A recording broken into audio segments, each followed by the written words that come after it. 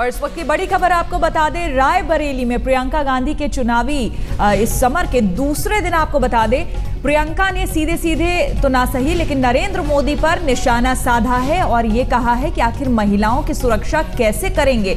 इशारों इशारों में जासूसी कांड का मुद्दा उठाया स्नूप गेट का मुद्दा उठाया, जिसको लेकर काफ़ी बवाल भी पिछले दिनों मचा था। महिलाओं की बात करते हुए प्रियंका गांधी ने यह बात कही कि आखिर किस तरह से महिलाओं की सुरक्षा की जाएगी। बंद कमरे में महिलाओं का फ़ोन सुनते हो। नरेंद्र मोदी पर इशारों इशारों में निशाना साधा। प्रियंका ने, और ये बात कही। आज दूसरा दिन है उनकी चुनावी सभाओं का, और नरेंद्र मोदी पर निशाना साधा।